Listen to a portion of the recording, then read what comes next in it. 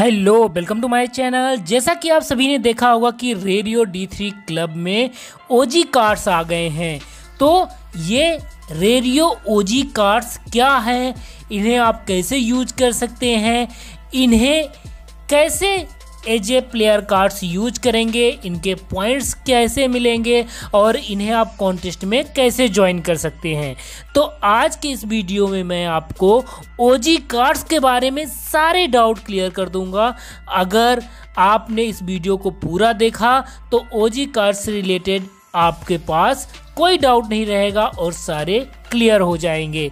लेकिन अगर आप मेरे चैनल पर नए हैं तो चैनल को सब्सक्राइब करके बेल आइकॉन ज़रूर प्रेस कर देना, क्योंकि रेडियो डी थ्री क्लब से रिलेटेड नए नए वीडियोज़ मैं हमेशा आपके लिए लाता रहता हूँ। तो चलिए, मैं आपको अपनी मोबाइल की स्क्रीन में ले चल के रेडियो ओजी कार्ड्स के बारे में बताता हूँ। तो रेडियो ने अपना इंटरफेस चेंज किया है और डे बाय डे अपडेट कर रहा है। तो जैसा कि आप देख रहे हैं, अभी इन्होंने अपने होम पेज में ही आपका बैलेंस आपके पास प्लेयर कार्ड्स कितने हैं गेम कितने गेम अपकमिंग गेम कौन कौन से हैं और बहुत सारी चीज़ें इन्होंने दिखाना शुरू कर दिया है। तो चलिए, मैं आपको ए टू जेड पूरी बात समझाता हूँ। रेडियो डी थ्री क्लब ने टी ट्वेंटी वर्ल्ड कप के शुरू होते ही बहुत सारे इंटरफेस में चेंज किए हैं। तो अगर आपको इंटरफेस के बारे में जानना है तो आप मेरे चैनल में जाके चेक कर सकते हैं। अभी मैं स्क्रॉल डाउन करके सबसे नीचे जाऊँगा, नीचे आ गया। यहाँ ओजी कार्ड्स लिखा है ओजी कार्ड्स में क्लिक करूँगा और अब आपको हिंदी में पूरी तरह समझाऊँगा। जैसा कि आप देख रहे हैं, लिखा हुआ है introducing OG cards three types के लिखा है थ्री कार्ड्स होते हैं बेटरन्स टाइटन्स और गोट इनको तीन कैटेगरी में बांटा गया है, जो ओजी कार्ड्स हैं। और लेकिन इनमें भी ब्लैक गोल्ड सिल्वर और ब्लैक होगा। वो मत भूलना। वो तो होना ही है और उसी के आधार पे पॉइंट्स मिलेंगे। तब और आगे चलते हैं और आपको ब्रीफली हिंदी में समझाता हूँ ए टू जेड तो आपको पहले क्या करना है कि आपको वैसा प्लेयर चूज़ करना है जो कि कॉन्टेस्ट में खेले या फिर जो मैच में खेले सॉरी ऐसा प्लेयर चूज़ करना है जो कि मैच में खेले। इसमें भी तीन लोगों की टीम बनाना है। ओजी कार्ड्स बिल्कुल सेम डी थ्री की तरह है, लेकिन इसमें पॉइंट्स कैसे मिलेगा आपको मैं वो समझाने के लिए कोशिश करता हूँ। और सबसे पहले मैं बता देता हूँ कि ओजी कार्ड्स चार देशों की ओजी कार्ड्स लॉन्च किए हैं रेडियो ने, इंडिया, पाकिस्तान, इंग्लैंड और साउथ अफ्रीका। तो मतलब जब इन इन टीमों के मैच होंगे तब इन ओजी कार्ड्स को यूज़ कर सकोगे। लेकिन सबसे बड़ी एंड अच्छी बात यह है, और यहीं पे आपको समझ में आ जाएगी कि ओजी कार्ड्स क्या है। अब चलिए मैं आपको बताता हूँ। सबसे लास्ट में आप देख सकते हैं, यहाँ पे लिखा है प्लेइंग पोजीशन तो बस यहीं से समझो, जैसा कि है Birendra Sehwag batter number one तो अगर जैसे इंडिया और पाकिस्तान का मैच है, अगर इंडिया टीम में रियल प्लेयर अगर के राहुल ओपनिंग करता है, अगर उसने 50 पॉइंट किए तो बीरेंद्र सहवाग को 50 पॉइंट मिल जाएँगे। तो मतलब इसमें प्लेइंग पोजीशन की बात है। ओजी कार्ड्स क्या हो गया? कौन किस पोजीशन में खेलेगा? तो ये पोजीशन कौन डिसाइड किया है? ये रेडियो ने खुद डिसाइड करके दिया है कि इन इन प्लेयर्स की ये पोजीशन है। तो अगर इंडिया टीम में चार नंबर पे सूर्य कुमार यादव बैटिंग कर रहा है तो यहाँ पर अनिल सॉरी अगर चार नंबर पे बॉलिंग कर रहा है सपोज़ दैट कौन? स्पिनर को ले लेते हैं अक्षर पटेल। तो अनिल कुंबले कितना है? यहाँ पर बॉलर नंबर फोर तो अक्षर पटेल जितने विकेट लेगा तो अनिल कुंबले के खाते में वो शामिल हो जाएगा। तो ये हो गया ओजी कार्ड्स का पॉइंट सिस्टम अभी आपको समझ में नहीं आया? तो अभी नीचे जाऊँगा तो और ब्रीफली समझ में आ जाएगा आपको। अभी यहाँ पर मैंने मोटा मोटा आपको समझा दिया। अब ये काम कैसे करता है? काम कैसे करता है? जैसा कि मैंने पहले बताया कि बैटर नंबर वन अगर सहवाग है और इंडिया टीम का के राहुल है। तो अगर के, जो मेन स्ट्राइक में होगा वो बैटर नंबर वन होगा, जो नॉन स्ट्राइक में बैटर नंबर टू उसके बाद जो आउट होगा तो कोई नया प्लेयर आएगा, वो बैटर नंबर थ्री होगा। तो बैटर नंबर वन जैसे अगर के राहुल मेन स्ट्राइक में है तो वो बैटर नंबर वन हो गया। वो जितना पॉइंट बनाएगा, वो वीरेंद्र सहवाग के खाते में चला जाएगा। तो ये हुए क्या? ओजी कार्ड्स का पॉइंट सिस्टम बैट्समैन का। अभी बॉलर का विकेट कीपर का और ऑलराउंडर का मैं नीचे चल के आपको समझाता हूँ। तो आपको पूरी बात क्लियर समझ में आ जाएगी। बस इसमें पोजीशन का खेल है कि कौन किस पोजीशन में खेलेगा। तो रियल पोजीशन में रियल प्लेयर का पॉइंट्स ओजी प्लेयर में काउंट हो जाएगा। अगर आपको समझ में नहीं आता तो आप दो बार सुन लेना। अब जैसे bowler number to Umar Gul है। उमर गुल, अगर पाकिस्तान की तरफ़ से कोई bowler number two suppose that Mohammad Amir है। तो मोहम्मद आमिर अगर 134 पॉइंट मारेगा चौतीस एक पॉइंट अगर मोहम्मद आमिर को मिलते हैं तो वो उमर गुल के खाते में हो जाएँगे। तो मतलब उमर गुल को 134 पॉइंट मिल जाएगा।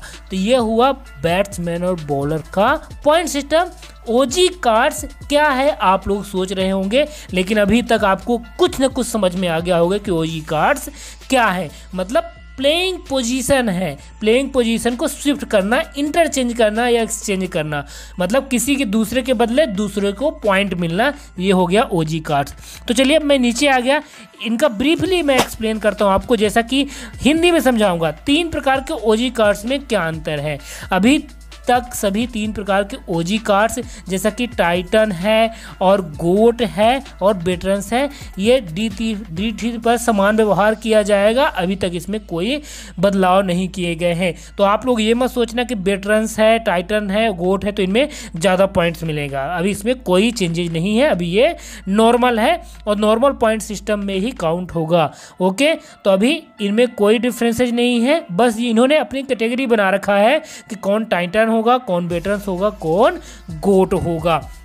तो चलिए दूसरा पॉइंट आपका डाउट लेते हैं। दूसरा डाउट आपका क्या हो सकता है? विभिन्न बल्लेबाजी पदों के लिए ओजी कार्ड्स कैसे काम करता है? Number one number two number three number four आदि जैसे विभिन्न बल्लेबाजी पदों पर वास्तविक मैच में खेलने वाले खिलाड़ियों को batter number one batter number two batter number three batter number four आदि के ओजी कार्ड से मैप किया जाएगा मतलब मापा जाएगा। क्रमशः इसीलिए वास्तविक खिलाड़ियों द्वारा उस स्थिति में बनाए गए रे आधार अंक उसी स्थिति के ओजी कार्ड्स को दर्शाएँगे। जैसा कि नंबर तीन पर कोहली अगर बैटिंग कर रहा है, नंबर तीन पर यहाँ पर यूसुफ पठान को ओजी कार्ड्स है तो जितना कोहली रन बनाएगा वो यूसुफ पठान को मिल जाएगा। तो चलिए अगला डाउट विभिन्न गेंदबाजी पदों के लिए ओजी कार्ड्स कैसे काम करता है? सेम वैसे काम करता है, जैसे बल्लेबाजी।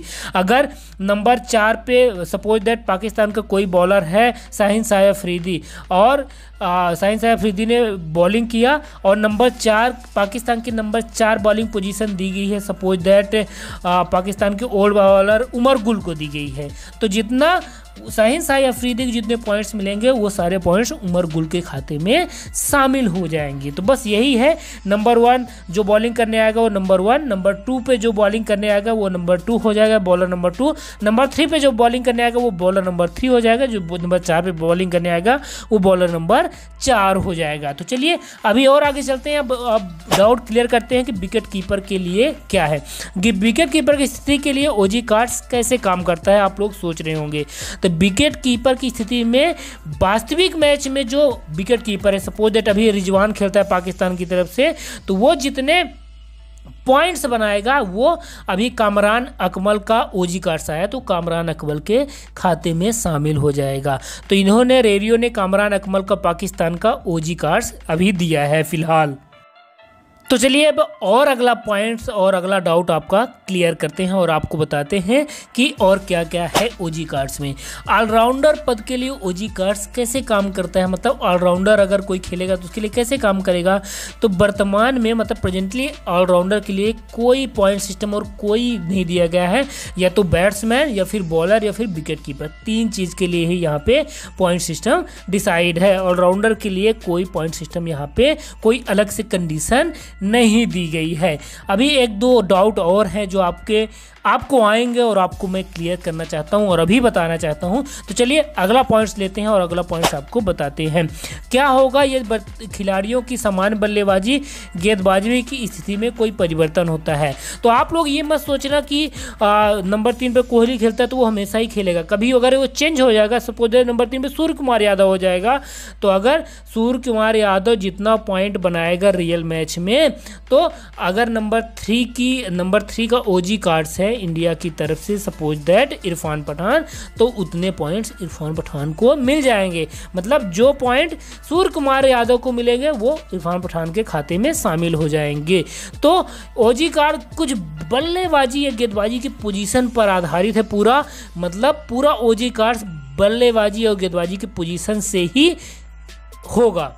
और ओजी कार्ड्स में इसी आधार पर पॉइंट्स मिलेंगे और इसी आधार पर आप बिन कर सकते हैं। तो अगर वीडियो समझ ना आया हो, अगर पॉइंट समझ ना आए हो तो आप मेरे चैनल में जाके दूसरे वीडियोज़ को ज़रूर देखना और ओजी कार्ड से रिलेटेड वाला वीडियो तो ज़रूर देखना। तो मिलते हैं नेक्स्ट वीडियो में, तब तक के लिए bye bye thank you for watching